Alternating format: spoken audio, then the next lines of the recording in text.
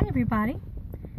Welcome to today's Jeep Shot. It is the 31st, so I guess that is technically the last day you can wish people you haven't seen Happy New Year. So I'm um, hoping that you've got your master plan in place for the year. And today we're just going to check in briefly with um, what I like to call Kaizen. But for those who don't speak Japanese, that we can go with continuous evolution. How are you continuing to evolve as you get older? And really breaking it down, I guess really that's about continuous learning and growing. What did you learn? What was the last thing that you felt like, wow, hey, I learned something new? Have you made a conscious effort to make sure that you keep learning and growing?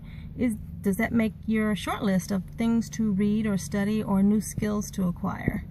So, I mean, there are many varying shades or levels, I suppose, of personal growth and development, but for today, just for um, an easy definition to use and to carry forth, just think about making learning and learning, um, whether that's a paid class or a book or just, you know, mentoring with someone or being mentored by someone.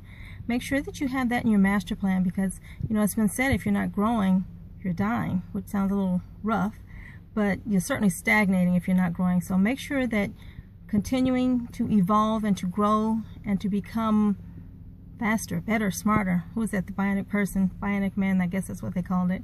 But anyway, make sure that evolving and, and making sure that you're becoming your best self. I hope you make sure that you put that on your master plan. And let me know what it is that you are planning to learn this year. What new skill will you pick up and how actually will that impact or otherwise change your life? I'd be interested in knowing what are you going to learn? How will that change your life? How will that change the world? And that, my babies, is today's Jeep Shot. Until next time, take care. 这样。